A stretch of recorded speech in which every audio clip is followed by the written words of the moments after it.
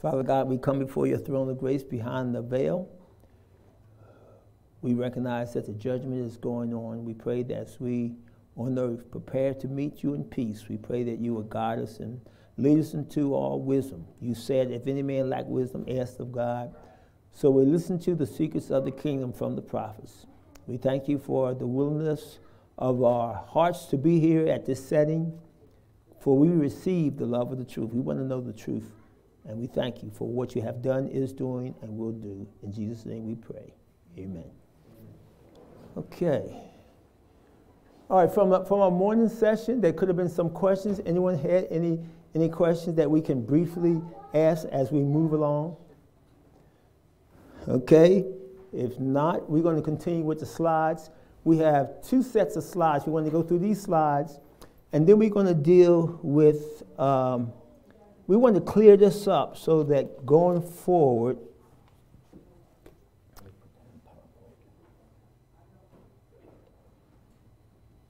okay. There we go. All right. All right, we, we, we, we'll deal with the other slides if we get to it. Okay. So here's what it says Get ready, get ready, get ready. Okay, we want to get ready for what? What do we want to get ready for? That's true. But what do we want to get ready for? That's true. The end of the world is Seventh Adventists should be preparing for what is to burst upon the world as an overwhelming surprise. The reason why come burst upon them, they don't think this world is going to come to an end, and so they're trying to save it by climate change. But you and I know it's not climate change, it's kingdom change. Amen.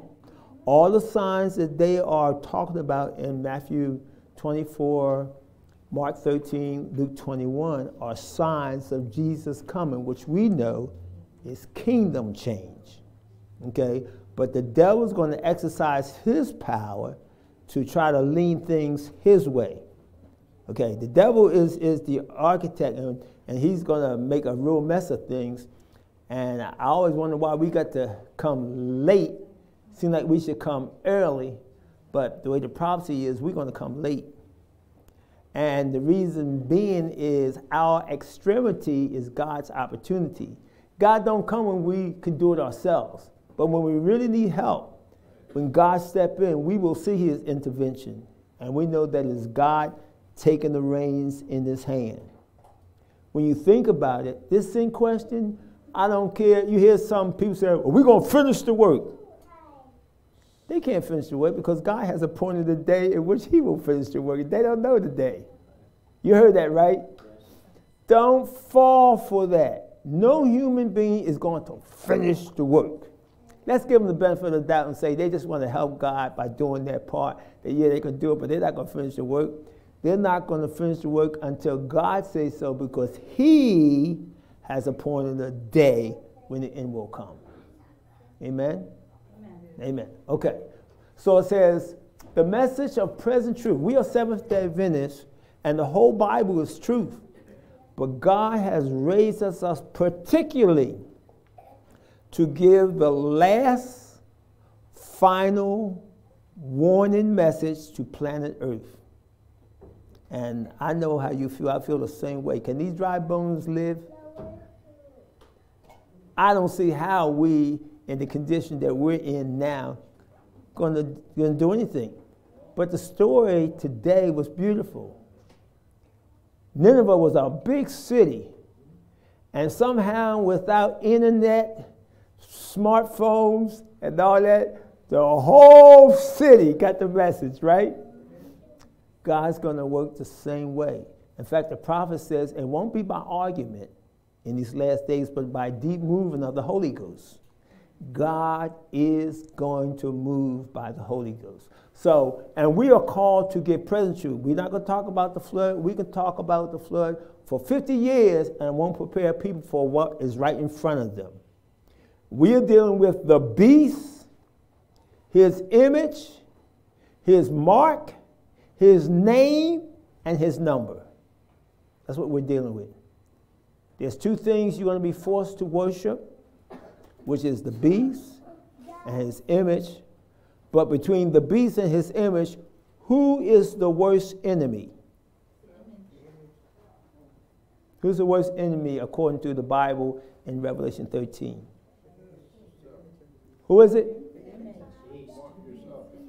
Who is it? Who is the worst? I said. So that means you got to choose. You can't, you can't do the generic both. Who is the worst? Revelation 13. It is the image of the beast.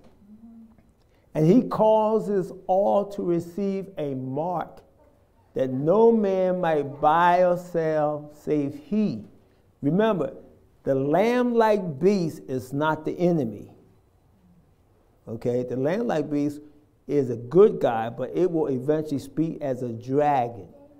But not because it wants to, it's because a religious element gets involved with the lamb like beast.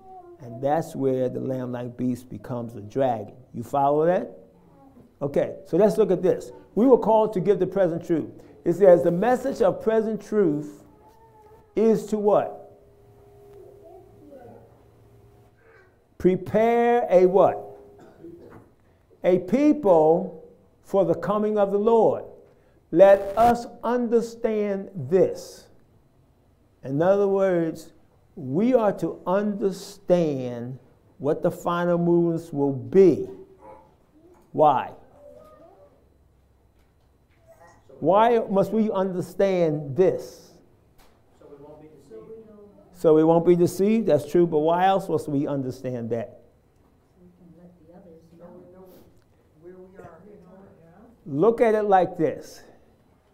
If I told you there was a dust storm coming, and I told you there was a lightning storm coming, would you prepare the same for both? No.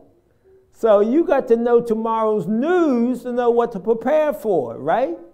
So if you know this, you know how to prepare the people for the coming of the Lord because this must take place first. That's what we read in our text today, right? Everybody was looking for what we always say Jesus is coming. But Paul says, That day shall not come except we have a what? People don't go to church no more. Everybody's home zooming. Everybody's doing all kinds of stuff. They're forsaking the assembling of ourselves together as a manner of some is. You can't fellowship on Zoom.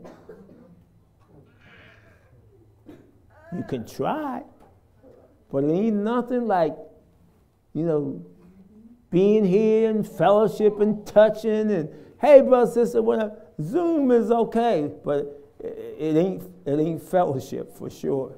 sure.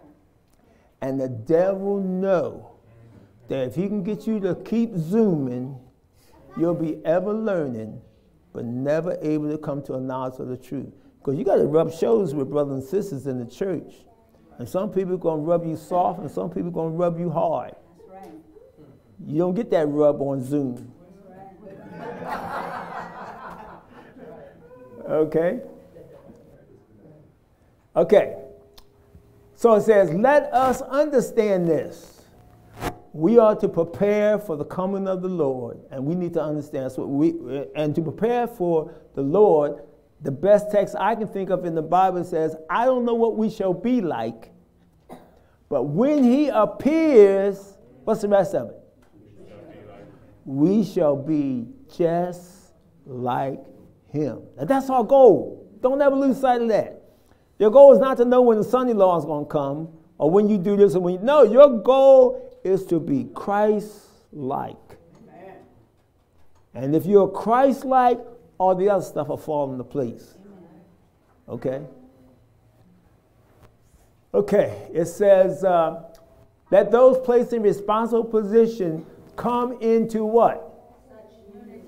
such unity that the work shall go forward solidly. We shall all speak the same thing, have the same mind, the same judgment, and you and I better start learning how to work together and, you know, we got, because at the end of the day, every earthly support is going to be withdrawn. All you're going to have is your brothers and sisters fellow brothers and sisters. So we got to learn to work together uniformly and solidly. Okay, I love these quotations because it sets the standard. We need to strive for unity up here and to do things right. That's what we need to be looking for. Uh, the placing of men in position of responsibility in various conferences does not make them, uh oh, what does it say? Gods. And see, the devil is trying to get people to trust on people. And sometimes we place people as gods, but they're not God. They're just in the position of responsibility, just like some of us. Okay? So don't, don't put them as God. You know? And when you read the Spirit, I don't want to, no, I ain't, I'm, I'm not going to say nothing about that because I don't want to create no issues. No one has sufficient wisdom to what? To act without counsel. Men need to counsel with their hallelujah. Brethren, okay? To counsel together, to pray together, and to plan together for the advancement of the work. In the multitudes of counselors, there is safety. You know, we all in here together. Don't think you by yourself. You know, that's what the world said. We all in this together. I said, no, I ain't in there with y'all. No, you say no we ain't. That's right, no, we ain't. You know, they try to say I'm out. I tell them all time. Or they say, the American people want this. I said, nobody asked me anything. No. But we as God's children, we have the same Lord and we should learn to press together. You know, we got to learn it now. Okay? All right, here we go. Let laborers what? Kneel down together and pray to God, asking what? Him to direct their course. There has been a great lack with us on this point. What point? Kneeling down together and praying to God. There's a great lack. We have trusted too much to man devising. We cannot afford to do this. Perilous times are upon us, and we must come to the place where we know that the Lord lives and what? And rule, and that he dwells in the heart of the children of men. We must have confidence in God. Uh, fundamentals of Christian, fundamentals of education 530.2. I remember it, even though I, I, I thought I had put that down far enough, but I didn't. Jesus is coming to the cities. And uh, we need to be preparing to not only move into the country, but being prepared to go back into the cities. It says, Shall not the cities be worked? Yes. Not by God's people living in them, but them visiting the city and telling them what is to come to pass. You know what the prophet said? Oh, that God's people will understand the destruction of thousands of cities that are given over to idolatry. Okay? God, I always say this God is not going to apologize to Sodom and Gomorrah. You know that, right? So if you don't apologize to Sodom and Gomorrah, he's not going to apologize to Philadelphia, he's not going to apologize to Camden, Phoenix, Albuquerque, wherever, Spain, London. He's not going to apologize. We're talking about the whole world. And when the whole world cities start getting destroyed, oh, people are going to be looking for answers. When fire and brimstone that rain on Sodom and Gomorrah rain on some of these cities, God says Adventists should not go into these cities and rebuild, trying to make a home for themselves. Can you imagine a council like that? I, I, every time I read that or think about that, I said, boy, we must be brain dead. to think that here I see here that Philadelphia got burned up by fire and brimstones, and you think I'm going to go and build a house in that city that just got torched? What kind of brain we have that God have to write a counsel like that? Tell us, don't go, don't go building that city. Are we that brain dead? That's the deceitfulness of sin. God knew it was warranted. He had to give that counsel because some smart, wise Adventists go say, Oh, I'm going there and build a house for anybody else. I can make a lot of profit in here. You know how people are speculating. They want to get in there and make some moves or whatever. Okay, let the watchmen now lift up their voice and give the message which is what? Present truth for this time. Let us show the people where we are in prophetic history and seek to arouse the spirit of true what? Protestantism, awakening the world to a sense of the value of the privileges of religious liberty so long enjoyed. Do you know, and you should know, that religious liberty will come to an end? You should know that, right? Every principle of our Constitution is going to be repudiated. All your Bill of Rights and all that stuff is going. And so when you and I are suffer abuse and we don't get the rights and the judgment, what are we to say? Nothing. Nothing. But what are we to say right now? Everything. We supposed to say everything. We are to do everything in our power to prevent this nation from passing to that point. Because when they get to that point, then you just ain't nothing you can say. I mean, you could say you're going, we're going to say anyway, but God already told us they're not going to listen. The judges are not going to listen to us because they know we're right. That's what she says. They're not going to listen. But nevertheless, we ought to tell them why. Because they have a judgment coming up too. And they can't go and say, Lord, nobody told me. Uh-uh. They won't be ignorant. They're going to hear the message. This gospel of the king shall be preached to all the world for a witness. Awaken the world to a sense of the value of the privilege of religious liberty so long uh, enjoyed. Study revelation in connection with Daniel, for the history will be what? Repeated. We, with all our religious advantages, ought to know far more today.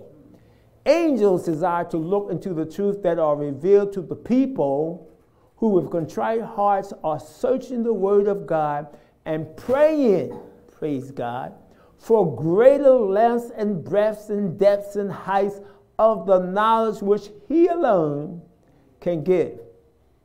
and I tell you, I, I, I would tell you, I tell my wife all the time. The Bible says to study to show thyself approved. Okay? What does that mean? Study for yourself. Why? If you continue to rely, not saying you shouldn't, but a lot of people, I know a lot of people, they rely on YouTube and Instagram and this. They're letting someone else do their studying, right? But when you read the book, you will find out there's a lot of meat that they are leaving out. A lot of meat they're leaving out. And if you continue to rely upon that, you will be what the Bible calls those people who are ever studying and learning. But they still don't know anything. They're getting always getting a lot of knowledge, but they don't know anything. You got to study for yourself because the Bible is your lamp. If you don't study for yourself, you won't get oil with your lamp. And that's the Holy Spirit. As you read this, the Holy Spirit can endow your mind with thought. Okay? So that's, that's very, very important. Unequal forces, waiting. Those who eat the flesh and drink the blood of the Son of God will bring from the books of Revelation and Daniel truth that is inspired by the what? Holy Spirit. they will start into action forces that cannot be repressed. The lips of children will be open to proclaim the mysteries that have been hidden from the minds of men. Are you ready for this? You oh, what, what are you going to tell the kid? Y'all be quiet. Y'all be quiet. Y'all know what you're talking about. When God goes to work, He's going to show you that children are going to take the stage. And you will know by their fruits, by their message, that this prophecy is being fulfilled. God must take the reins into his hand because sometimes we take we you know we can't get started. Is that me or what am I doing? Okay. We are standing on the threshold of great and solemn events. Okay, for history will be repeated. Many of those whom the Lord has called to do a work for him in the ministry are loaded down with an accumulation of what? Books. Books. If minister would link their soul with the divine teacher and search the scriptures, hungering and thirsting for knowledge which comes direct from the inexhaustible fountain, they would be greatly blessed. God says most people who have a lot of reference books, they are confused. You know, because, you know, as you look at all the different books that the writers put out, they say, well, one school of thought is this. One school of thought is this. One school of thought is this. But what's the problem? They never tell you which thought is right. You need to know which one is right. Amen?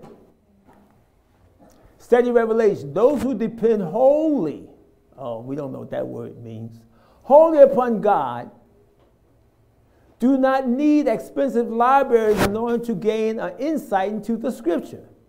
Many expensive books are not essential, and those who study these books to the neglect of the Bible are in danger of becoming confused in their what? Ideas. Is it not a fact that those who possess the most aids in the way of theological work are the least prepared to hold forth to others the word of life? Hello?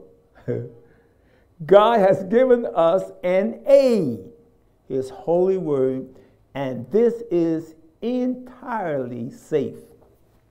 It may, depend, it may be dependent on the shepherd of the flock who reads and studies the one trustworthy book and pray for information from it, will find the heavenly messengers right at hand, ready to empty from themselves the golden oil. I love that. That's beautiful, right? The words we utter today in the ears of the people, the work we are doing, the spirit of the message we are bearing will be a savior of life unto life or of death unto death. My brethren, do you realize that your own salvation uh, as well should be there. I left that out. See, when you know it, you, somehow it didn't get in there. As well as the destiny of other souls depending upon the preparation you now make for the trial before us. Have we forgotten Satan's plans for SDA now living in the cities and villages? Listen, our principal concern is to silence this sect of Sabbath keepers. The devil, he wants to shut us up. It says we must excite popular indignation against them we will enlist great men, worldly wise, worldly wise men upon our sides, and induce those in authority to carry out our purpose. Who's talking here? Satan.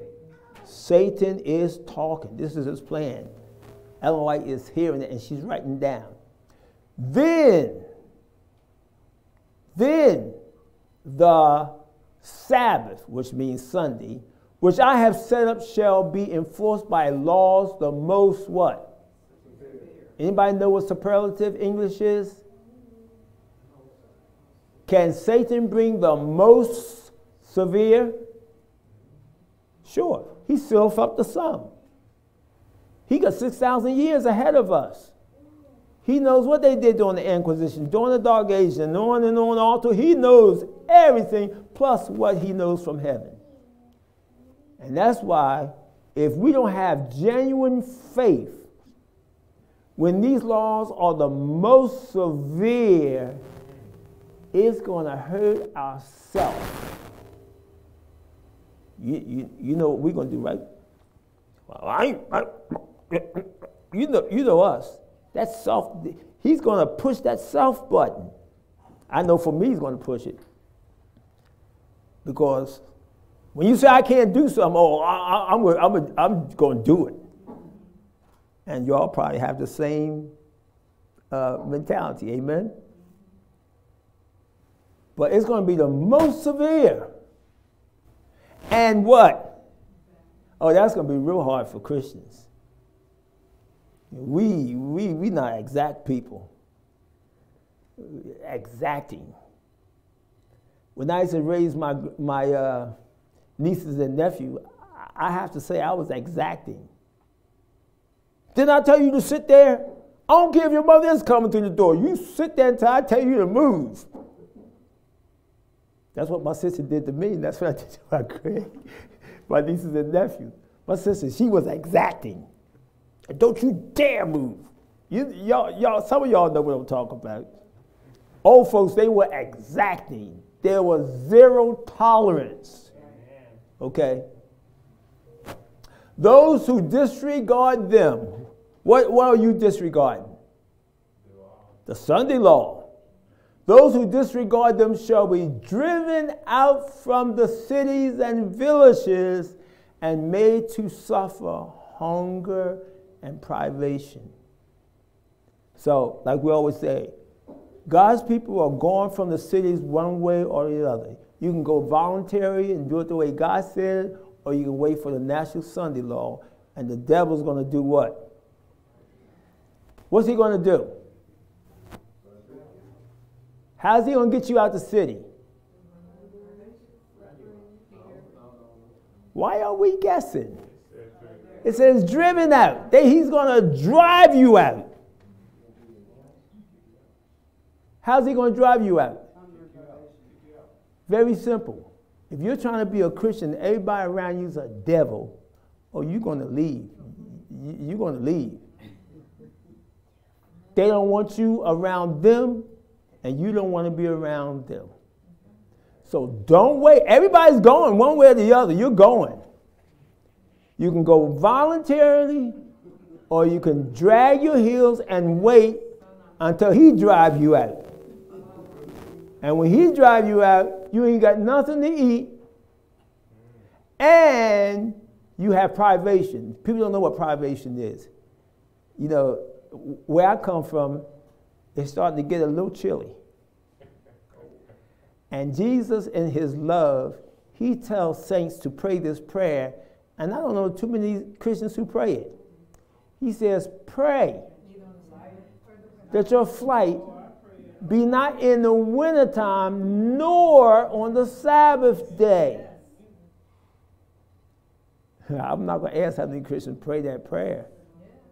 They don't even know it. They probably never even heard it, some Christians. You better pray. I come from New Jersey, it gets cold. And so, so some out here, you know, it don't get as cold, but I pray that prayer. That I don't know, Lord, when I got to go, I pray it won't be in the wintertime nor on the Sabbath day.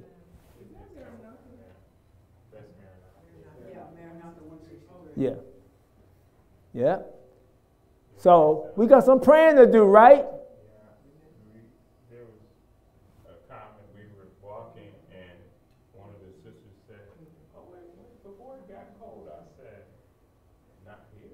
That's right. Yeah. Maybe once in a blue moon, but I'm like.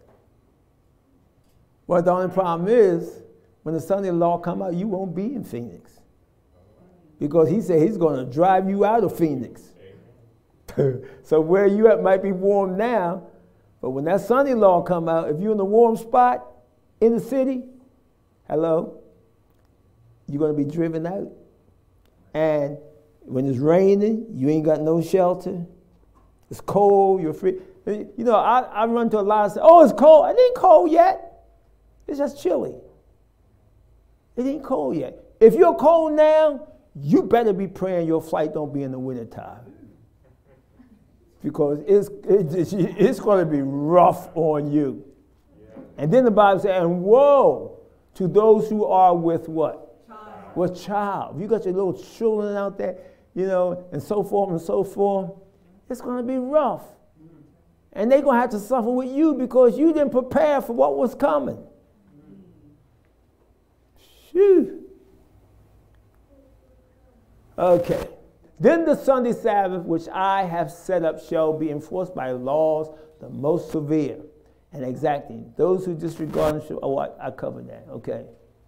Ah, this one is about the Sabbath. Brothers and sisters, if we plan to receive the seal of the living God, we must learn to obey God and keep his seal, which is the Sabbath. This applies for men and women. You see what God says? I don't, you know, this is about my fourth time, about fourth time explaining this. You're not going to get the seal of God if you don't respect God. That's, that sounds reasonable? Or here's what the quote says It is a dishonor to the Sabbath, one, and to God, two. And to his church or house. Three, for those who profess that the Sabbath is the holy of the Lord and honorable to wear the same clothing upon the Sabbath that they have worn through the week. Okay? In other words, without making it a long, drawn out process, you show the type of God that you are worshiping when you respect His day, you respect God, you do what He says, not what you want, and you res- respect the assembly of the saints. Babylon don't do that. They come any old kind of way Okay? But unfortunately, when you get to heaven, you're going to get a long white robe. Oh, I, am always touching it. Did I go back or forward? Yeah. Um, you're going to get a, a white robe. And believe it or not, you're going to have to wear that in heaven. And there won't be nobody in heaven who don't like what God said they should wear. You understand what I'm saying? So we must learn to let God be L O R D. What's that? What that mean? Lord. What that mean? He tells you what you should and should not do. And all you got to do is get used to dying. Just, just do it. When some try to take control, don't let it, don't let it happen. Because you know that the God that you serve continually wants only the best for you, and He won't steer you wrong. Ladies, put on your best. Hello? I don't know what's the best in your robe, but I know you got a long robe. Yeah, they got a long wardrobe, boy. I thought my little two shoes in the closet was something. you open the ladies' side of the closet. Woo! Y'all know what I'm talking about. I don't know why they got to have 15, 20 pairs of shoes to buy two. Could it be they wanted to keep up with the fashion of the world? Could it be? I think so. Come out from the world, be ye separate, God says. Touch not the unclean. We got to give that up. Those those other 12 pairs of shoes, you could you could uh, send that money over to uh, over to Haiti or someplace to help the gospel over there. That's the something now that God requires of his people. We are to deny ourselves. So that's why when 144 is developed, it probably will be very few people in the United States who's, who's a member of the 144,000. Huh? Yeah, because they've been babies and wasted so much. And those people over there, they go out to their vehicle if it don't start, they'll walk 20 miles to church. You, you, you think that happened in America? That ain't gonna happen. It won't happen. Okay, so let's go forward real quick. The cities ought to be worked from outposts, says the messenger of God. Shall not the cities be warned? Yes. Not by God's people living in them, but by their what? Visiting them to warn them. Warn them of what is coming upon the earth. We ought to warn them. The flood will come. The earthquake will come. I heard this week we had the tornado. The next day we had what? The earthquake, okay, in Indonesia. The next day we had the what? We had the uh, tsunami or monsoon in the Philippines. And then what was the, the, the last one? That was like that whole week. I said, what, what is right behind one another? And that's why fellowship together works for God's people you're going to hear something that I won't hear, and I'm going to hear something that you won't hear, because the devil don't want us to hear that. So, because he wants us to just stay right where we are, so that we can be what? Weighed in the balances. That's why he wants us to stay right where we was last week. Okay, combine medical missionary work with the proclamation of the third angel's message make regular, organized efforts to lift the church members out of the what? I didn't say that now. The prophet said that. Out of the dead level in which they have been for what? Years. Years. That's terrible. A new element must be brought into the work. We've been dead for years, and the churches worldwide been dead for years. Is that a true testimony? That's a true testimony. Yeah, we just can't see the volume. It's in the wrong. If you can't read it, go back. What's, what's the reference? Volume what? Uh, testimonies. Volume 6, page 267, and Counsels to Medical Evangelists 17.3. CME.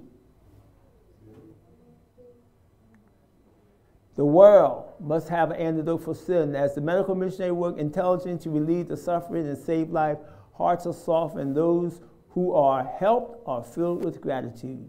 As the medical missionary work upon the body, God will work upon the heart. That's manuscript 58, 1901. As a means of overcoming what? Prejudice and gaining access to minds. Medical missionary work must be done not in one or two places, but in what? Many, places where the truth has not yet been proclaimed. If the people see that we are intelligent with regards to health, they will be more ready to believe that we are sound in what? Bible doctrine. This work will break down prejudice as nothing else can. You can point to the uplifted Savior and toward the love of the great physician who alone has power to restore and says, you know that's Exodus 15, 26, right? You got to do that which is right in God's sight, and he'll hear your prayer, keep his commandments and statutes. And he will put none of those diseases upon you. For no matter what you do or don't do, if you get healed, it is the Lord that heals you. So you can give credit wherever you want. When the cities will work as God would have them, the results will be the setting and operation of a mighty movement such as we have not yet witnessed. Medical ministry. It is the Lord's purpose that his method of healing without drugs shall be brought into prominence in every large city through our medical institution. But that ain't happening. God invests with holy dignity those who go forth in his power to what? Heal the sick, not treat, not manage, none of that. Soon there will be no work done in ministerial lines except medical missionary. The truth of this time, the third message is to be proclaimed with a loud voice as we approach the great final test. Then the prophet says, This test, which test? The National Sunday Law and Worldwide Sunday Law must come to the churches in connection with the true medical missionary work. And we're seeing that. Right now, we have the jab and it's testing Adventists. It's coming, but it's not coming by itself. It's coming in connection with the mark of the beast. And so when you read Revelation 13, it says he causes all to receive a mark. That mark is not the mark of the beast. That mark is what I have coined the mark of compliance. They must know that you have complied. This jab is going to connect with the Sunday law. And they're going to know whether you have complied because you're going to need a passport. That's right. You're going to need something that you have got the jab, or you can't go in this restaurant, or you can't go into this supermarket, or you can't go to school, or you can't get, get gas. You know where it's going. Y'all know where it's going. And also, last week, Congress passed a law that, that for a database. Last week, Congress passed a law for money and support of a database. So a vaccine database is now written in the law. That's right. And you know why they need the database? Because the prophecy, the most vivid presentation will not reach the magnitude of the deal. If you talk to Larry Gibson, Larry Gibson wasn't vaccinated, then they're going to quarantine you too. It's going to just, it's just going to metastasize all over society. They're going to track you down. Like I was telling Brother Aaron today, I don't send nothing to the cloud. because Rome controls everything. And she's funneling. You can't believe them when they say, oh, we don't share your privacy. They're all liars. They don't keep the commandments of God. And so you got to do what Jesus said. Jesus says what? Trust no man. Because you're going to find they're going to betray you. So we're going to see there's going to be sick ones. In fact, they probably won't even have enough staff to man the hospitals because I love it. The health workers, policemen, there are people who are not religious. They are refusing to take the jab. You know why? For right now, they have a right. It is still America. They still have freedom of conscience, and they're not going to give up their conscience to the beast or his image, or they're not going to receive his mark. They're not going to do it.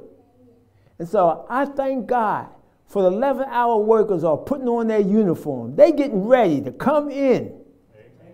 And their zeal is going to far exceed ours. So you better get ready. You can stay there and be all stiff and can't say hallelujah, praise the Lord, thank you, Jesus, all you want. They're going to go right on past you, go straight to the kingdom. So you better get ready. And when the people from Nineveh come in, say, Hallelujah! Praise the Lord. Amen? Because they coming in. And, and, and, and I won't have to say walls and ceilings, say amen. Oh, or they're gonna be they're gonna be shouting amen. That's right. So you better get in practice. Amen. There will be sick ones, plenty of them that will need what? Help. So, because of the need, because, uh, but for their own sake, and this is what God is telling us, for your own sake, they should, we should, while we have what? Opportunity, become, here's the key word. What's that word? Intelligent in regard to disease. What's disease? What's God's definition of disease? Is it? There it is. Disease is an effort of nature to right wrong conditions in the system brought about through a transgressions of the law of God. In other words, God don't want you to be diseased, but He knew that we would violate His law. So God's solution is that disease is uncomfortable condition that is trying to change the climate of your blood and to right wrong conditions that you created by not following the laws of health. Did that come out halfway decent? But the devil says, no, disease is bad. And it is, but he says, stop it. So when you stop it, the waste that was coming out now stays in. And so when it stays in, it finally goes to the next uh, eliminated organ, which is the lung. So now you can barely breathe. So they rush you to the hospital and say, oh, you got pneumonia. So then they give you some more drugs and stop the cleansing. You die in your waste. That's what happened. All those areas. Coughing is good. Amen? God designed it that way. When something gets in the a cough, take a deep breath when you're outside. Amen? Okay, for our own sake, we should, while we have opportunity, become intelligent in regards to disease, what causes it, its prevention, and treatment, right? And management, right? And supervision, right? You know, in the medical world, they don't use that word. They Sure them. They can't, they don't believe, oh, there's no cure for that. You have to live with it for the rest of your life. Go ahead, Aaron. Well, at one time, um, there, there was a clash between the modern um, doctors of today and the ones of the 19th, 18th, Right. 17th century that were curing diseases.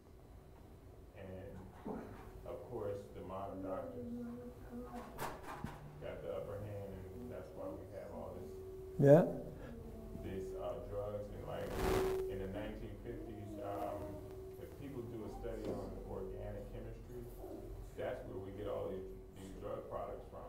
Right. It's exploded petroleum chemistry, where that black sludge from the um, oil spill, well, when they refine that, they make plastic, they make right. drugs, they make all kinds of stuff with that. And that's why there's, that's why they push those drugs so much. Yeah. It's It's- to pad their pocket. Oh, yeah, it's more profitable to treat you than to cure you. And so we're going to be doing that, even when probation closes, People are going to be sick all around us. Sick and dying is going to be all around us, and we are obligated to help them. By the use of poisonous drugs, many bring upon themselves lifelong illness, and many lives are lost that might be saved by the use of natural methods of healing. Restorative power in nature, the only hope. Y'all know what that word is, right? That's an English word, only. The only hope of better things is in the education of the people in right principles. Teach the people that restorative power is not in drugs, but in nature. Oh, battery running low. Um, okay. And not in nature. So there's the, there's the terminology. Disease is an effort of nature to free the system. Y'all can control it from here. Just oh, you got it plugged in. Okay. To free the system from conditions that results in a violation of the laws of health. Okay? So that's God's definition of disease. The disease is on God's payroll. So I know it's a, it's a little, you, you know. All right. So when Jesus comes, we want to be ready. Behold, he cometh with clouds, and every eye shall see him. Amen. All right, last little slide, and we're done. This one's real. This is a real short one. Okay, this one is here, there. This is Revelation 13 and 17. Okay. Um,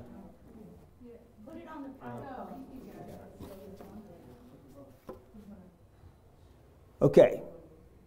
like I always says, when you read the book of Revelation 13, stop, don't stop completely, but stop beating up the beast.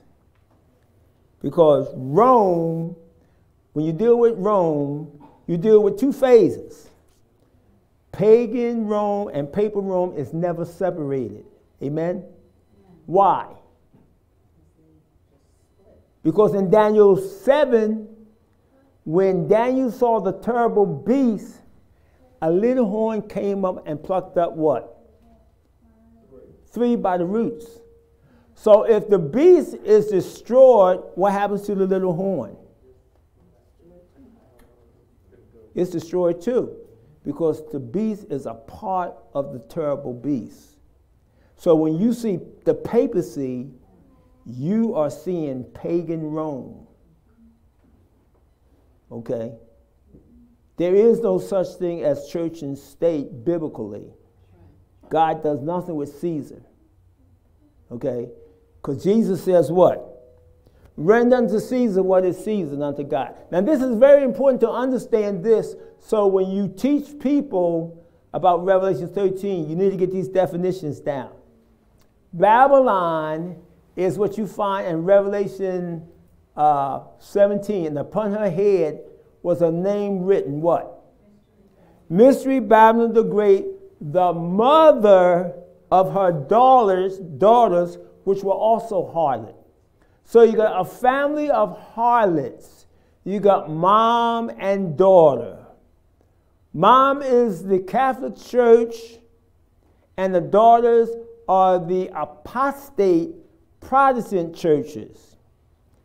Protestant churches used to be the woman of Revelation 12. But when she rejected the first angel's message in the summer of 1844, she fell, and you find her in Revelation 17 on the terrible beast. Many Seventh day Adventists teach that the woman of Revelation 12 is the Seventh day Adventist church, which is incorrect. Initially, that woman represents the church of the Jewish nation because it had the 12 stars. Okay? But as it goes all the way through time to Revelation 12 17, Satan is wroth with the woman, but he makes war with us, who is the remnant of her seed, which keep the commandments of God and have the testimony of Jesus. Remember, that woman fell when she rejected the first angel's message. You can read that in the early writings, the first angel's message, second angel's message. So that's Babylon. Babylon is all the apostate powers, all those who will not obey God's law, they can't stand it. The, the human heart is at enmity against God's law. That's, the that's a papacy, apostate Protestantism, and spiritualism. Spiritualism is every person who have not accepted Jesus Christ. Jesus says you can't serve two masters. You're either on my side or you're on the devil's side. And if you're on the devil's side, you are controlled by demons. And the devil's not going to disturb you. If you just ignore one thing that God says, you are on the devil's side. You get that? Okay. apostate, apostate Protestantism. This here. Apostate Protestantism. And that is spiritualism. You're controlled by demons. Okay? The first beast of Revelation 13, the first beast is not a leopard beast, but a leopard like beast. Okay? And this leopard like beast is described from Revelation 13 1 to 10. The leopard like beast is the papacy, not the Catholic Church. The papacy. That's the branch of the Catholic Church led by the uh, popes, and they're the one who is the heart of the beast. Okay? So you have another creature which is lamb like.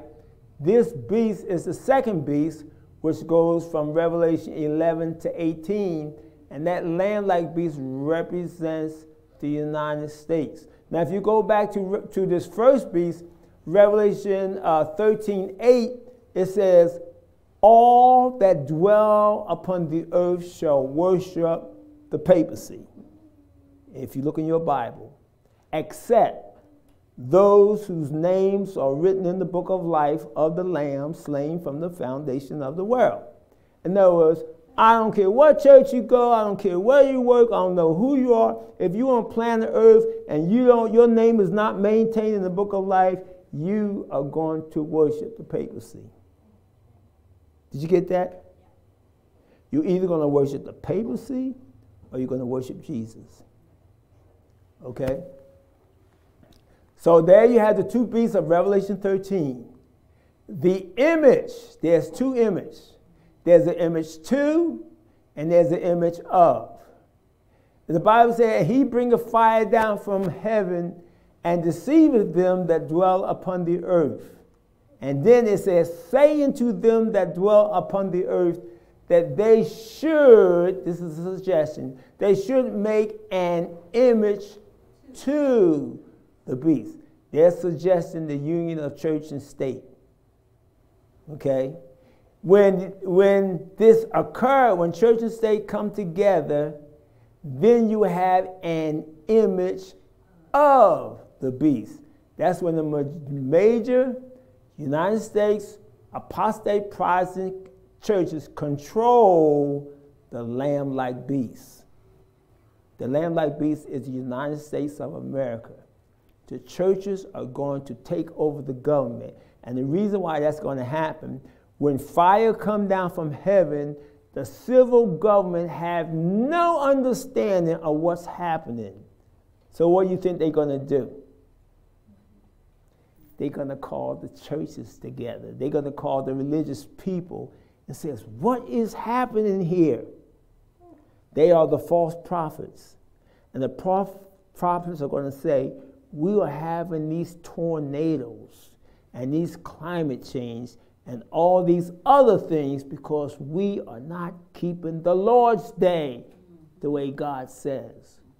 Well, you and I know that the Lord's day don't exist other than as the seventh day Sabbath. So the false prophets are going to tell the lie.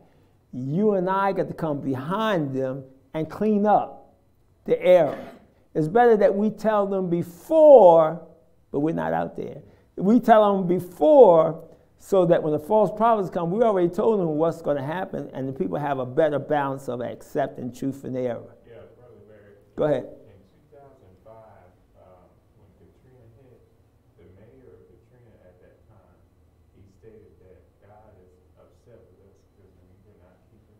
That's right. And where do they get that inspiration from? The devil. The devil is determined to make laws to exterminate those who keep the commandments of God. Okay? So, he causes all to receive a mark. That's the mark of compliance. Okay? That's mandated health, vaccines, and etc for the public good, they're going to suggest you keep your distance. You know, I, I guess they talked to the virus, and the virus said, No, I can only go six feet. you know, that's the ridiculous. You know, that's Daniel 12 10. The wicked shall do wickedly, and none of the wicked shall understand, but the wise shall understand. They just do dumb stuff. You know or, or, or, or they, they, they be in the restaurant, they got their mask on. Oh, I got to eat now. Mass uh, virus, take a break. I got to eat over here. Or I got to take a smoke, you know, or whatever.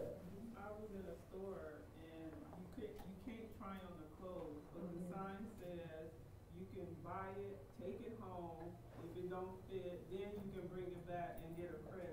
Well if I'm doing all that I might as well try it. Yeah. Yeah. They, they, they, they're unreasonable. You know, they just don't understand. You know, it, it's comical. They're so scared of the virus, but there's certain times they, they can tell the virus take a break and they can take the mask down. Crazy. Anyway, all right. So that's the mark. And you're going to know that the false health is going to be coming in connection with the Sunday law. So we're tested on the full gospel, the health, which is their false health versus God's way of healing without drugs, and then the false worship versus God's true seven day Sabbath. They're coming together. That's why I said this test must come through the churches in connection with the true medical missionary work. So you can't, you will not be able to buy or sell unless you worship the beast or his image or receive his mark or his name or his number. The number is the easiest one. His number is 6666. That's the title that the papacy takes, which stands for Vicarius Filii Dei, which stands as the vicar of Christ. The, that's the number of his name. That's the Latin name and title. The name of the beast is Catholicism. That's the religious name. They're Catholic. You see how all that come together? So all those people coming from the southern border, they're going to be able to buy or sell. In fact, they're coming to take your houses and land and cars and everything else. You know that, right? When the Sunday oh, when the when the Sunday law comes out,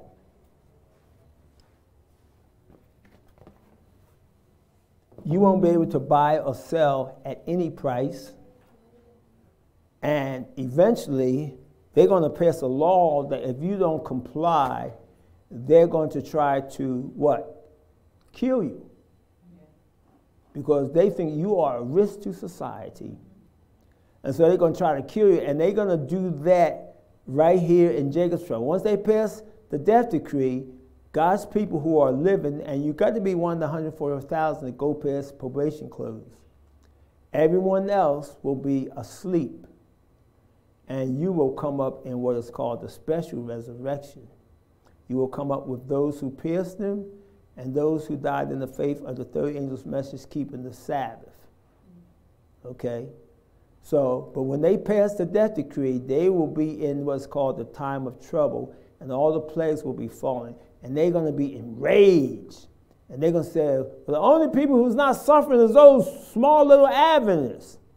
So then they're going to pass a law specifically for Adventists that you must give up the seven day Sabbath and keep Sunday within a period of time, or the people can kill you and take all your possession. That's Jacob's trouble. Okay, we go into the country so that when the Sunday law come out, we can buy and sell before probation closed. But once probation closed, angels are going to have to feed us through the time of trouble. That's why the quotation says we are to make no temporal provisions for the time of trouble. That's the time between probation close and the second coming of Christ. Because if we have anything stored up, the servant of the Lord said it will be taken from us by wicked hands. There's going to be anarchy. People are going to be running all over the place. And so when probation closes and when the death decree is passed, we will then leave our country homes and we will go deeper into the mountain. And all your nice furnishing and your bed and sheets and everything, the beast's going to get those. Okay? So that's why we should be modest in our outlay of means. If you got means now, you should be getting to get the gospel out because after a while, she says, house and land will be no use to the saints in the time of trouble. And if they didn't listen to God, it will come up before them like a what? Who read the quote? Um, overwhelming surprise. No, when, when they didn't lay their, their property on the altar, it said it will come up before them like a what? Oh. Um, who said it? Oh, I should have known. My wife said it. Will come up like a mountain and will overwhelm them. They said, oh, we should have, could have, should have did it. too late then. Because the gospel is over. Okay, let's go through this real quickly. All right, so you, you get the mark of the beast when you worship. Uh, what am I doing wrong here? Did my battery go dead? Yeah. Oh, okay, go back. You get the mark of the beast when you worship the beast and his image or receive his mark. Now, this mark in the context of Revelation 13 is not the mark of compliance, but it is forced Sunday keeping with a clause that says you must reject the seven day Sabbath. That's the beast sign or mark versus God's seal. You got that? Or you must be Catholic. If you're Catholic, you can buy or sell. Or if you have the number of his name, which is the papacy, you can buy or sell. So you will see that the only people who are going to be buying and selling on the National Sunday Law is the papacy, Catholics, those who are keeping Sunday, and those who are in apostate Protestantism. That's everybody except us. That's everybody except Seventh day Adventists. But we're going to be warning the world if any man worship the beast or his image or receive his mark or his no or his number. I think in I, I, if I recall in Revelation, it they don't have the I can't remember whether it's the name or the number. I think it's the name.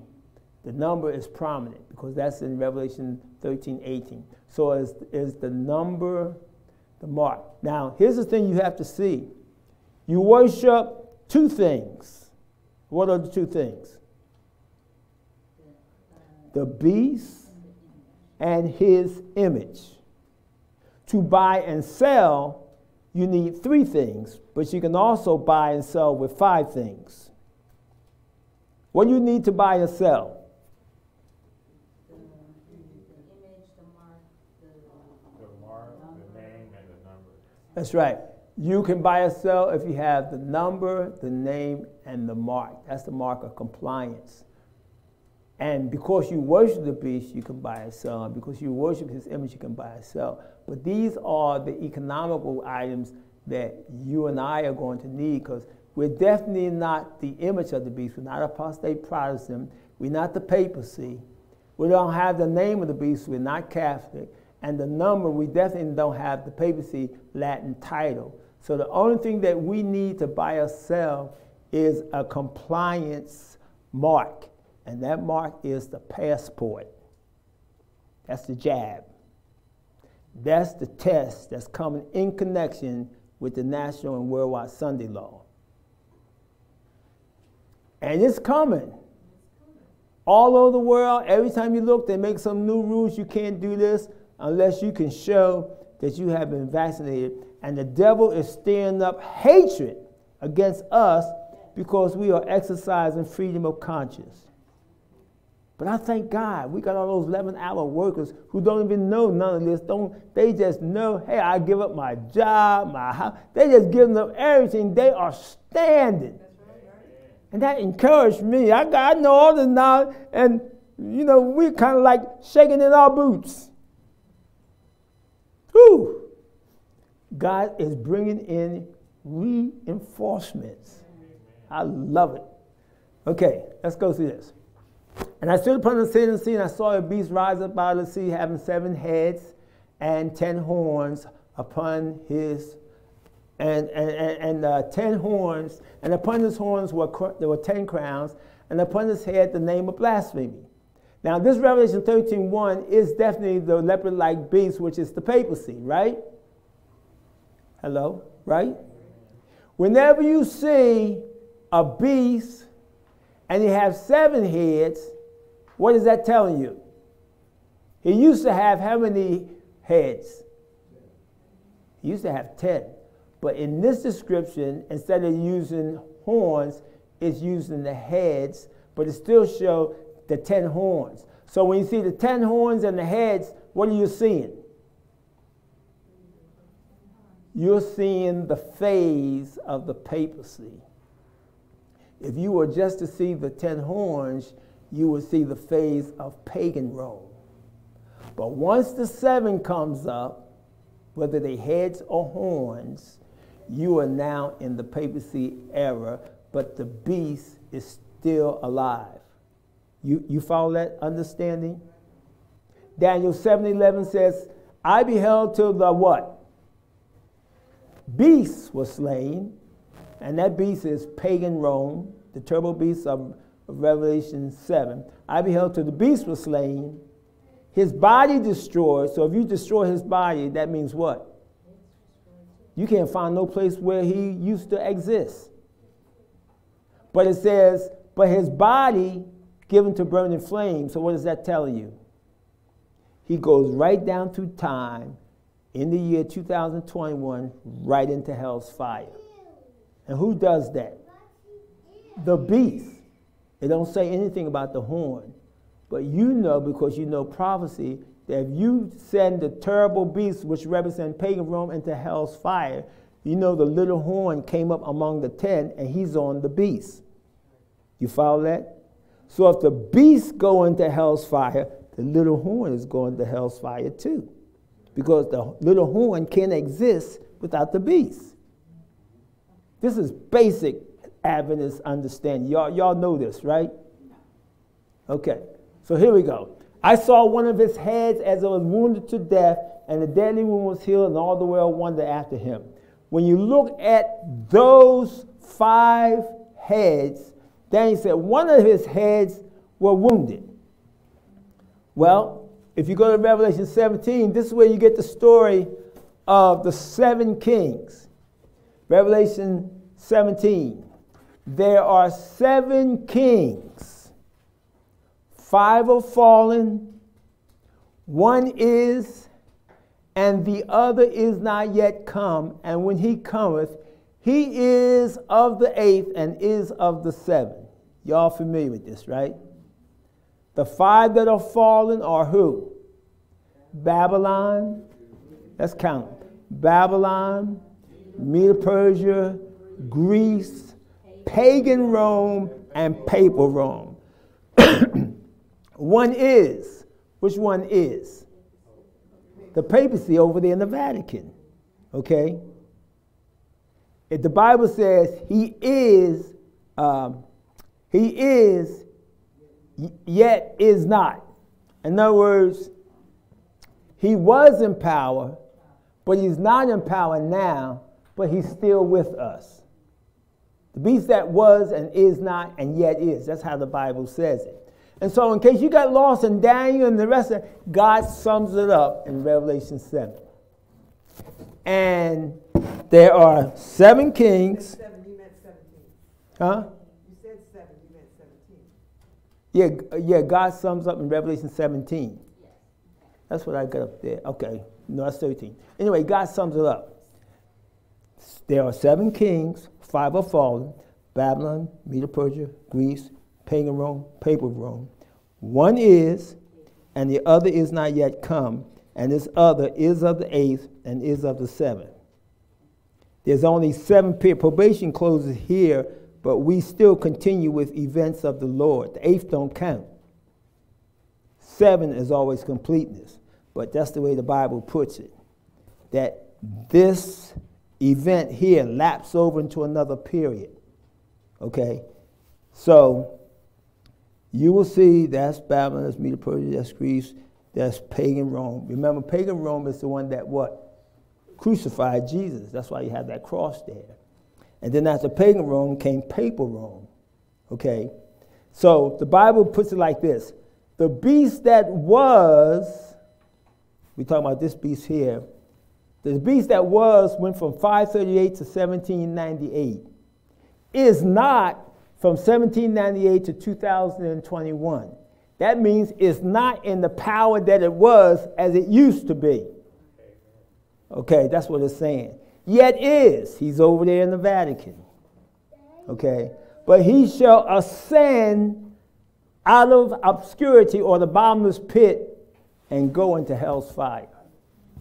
That's what we read today. It says, referring to the devil, it says, even him who's coming is after working of Satan with all power and sign and lying one. Then shall that wicked be destroyed by the brightness of his coming, and this, uh, then shall that wicked be destroyed I forgot the, the quote. Anyway, by the brightness of his coming. Anyway, you, you can read it. I got it wrong. I don't want to say it wrong because I'm in Revelation. Oh, that's right. But, but I, I was, I don't want to misquote it anyway. Okay, so what happened? We went off. Did I do that? Okay, so that's the first beast, Revelation 13. All nations will be forced by the United States Sunday and health law and mandate law to disregard the seven day Sabbath to buy or sell on the penalty of death. Y'all know the text. I, I'm not really going through that that much. All nations are going to follow the United States. You know that, right? Okay. I'm going to be moving real quickly, so if you're going to take pictures, take them real quick. In fact, if you got your flash drive, you can get the, you know, you can get a copy of it. I always tell them, you go to church, bring your flash drive. You can always get a copy of whoever's speaking. The rise of the United States on 1700 into power to be the only superpower, but gives up its Republican and Protestant principles.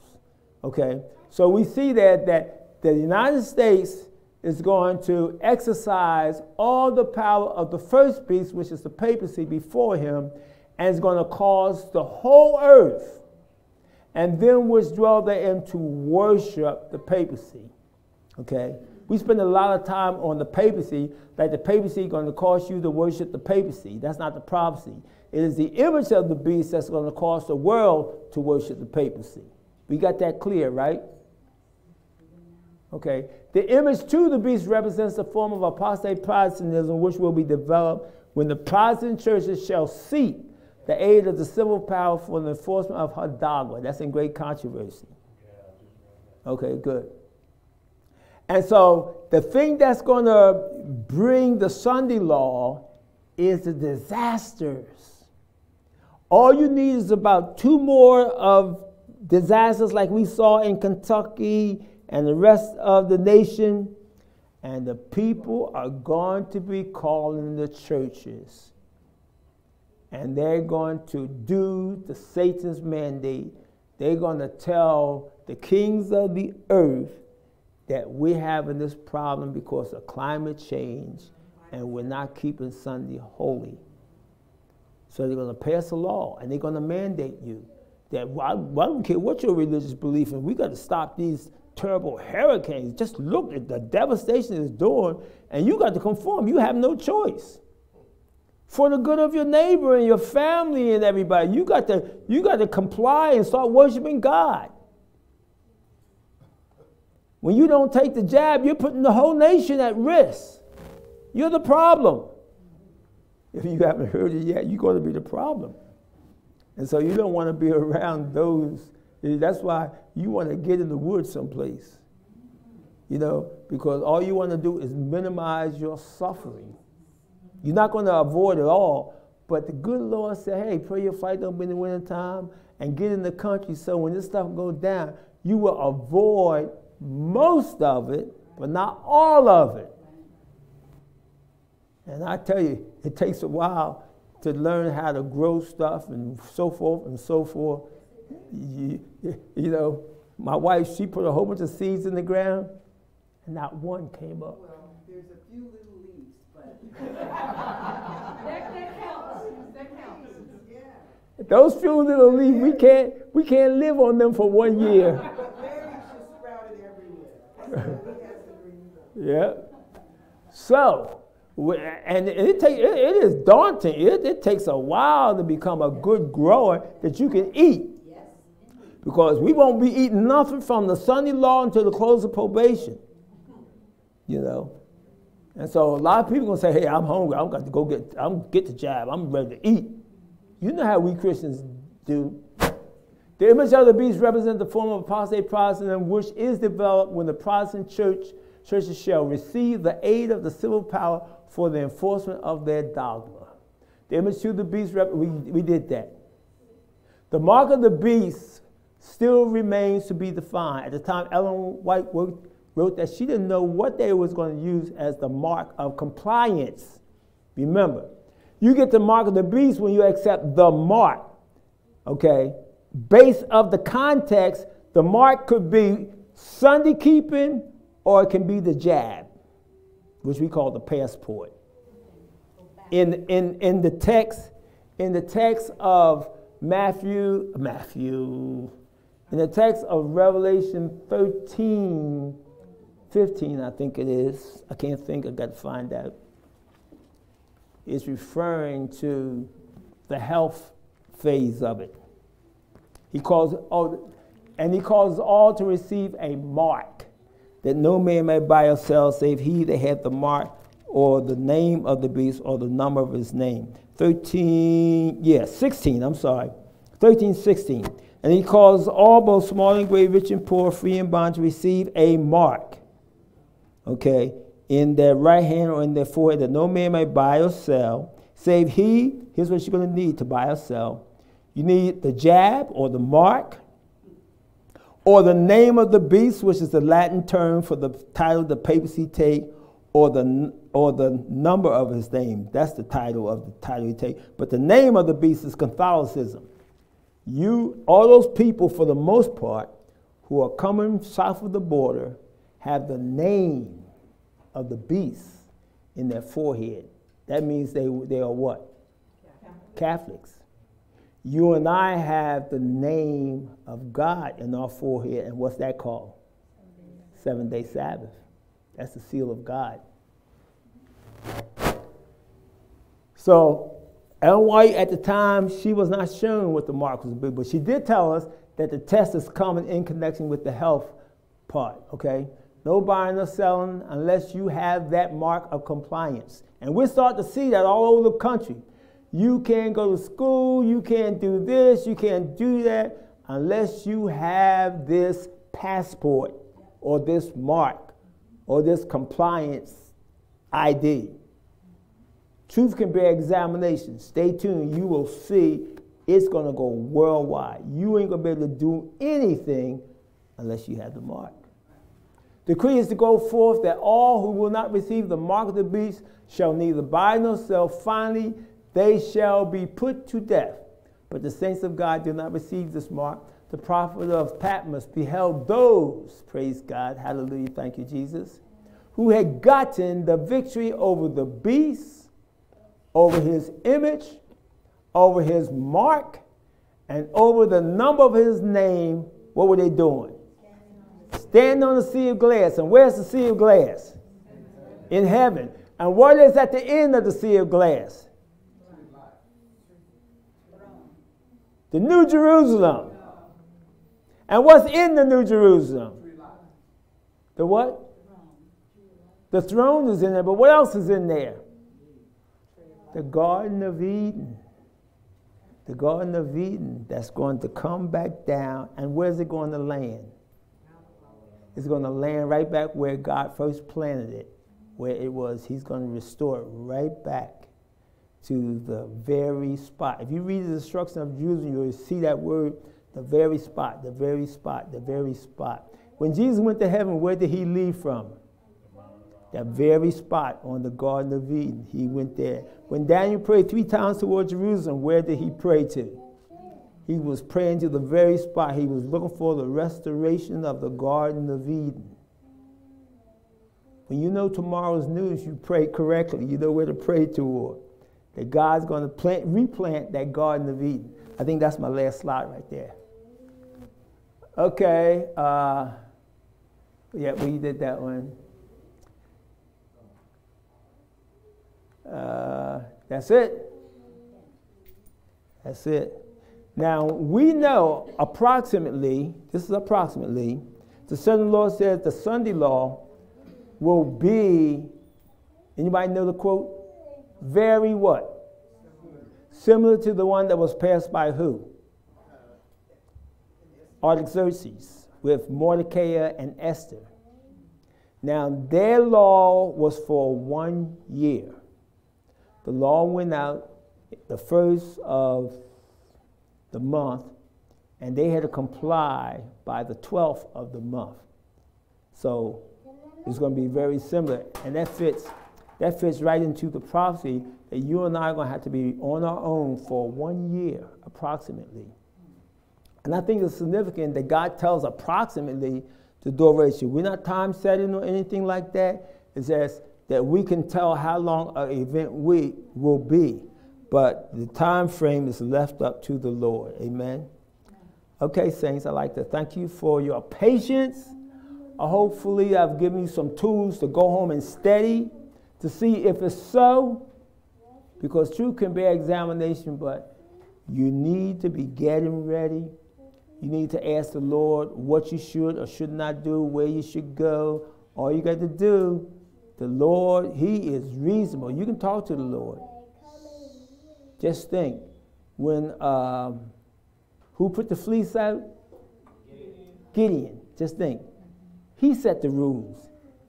He said, Okay, Lord, if you want me to go to battle, I'm going to put this fleece out here, and tomorrow when I come, I want the fleece wet and the dry ground.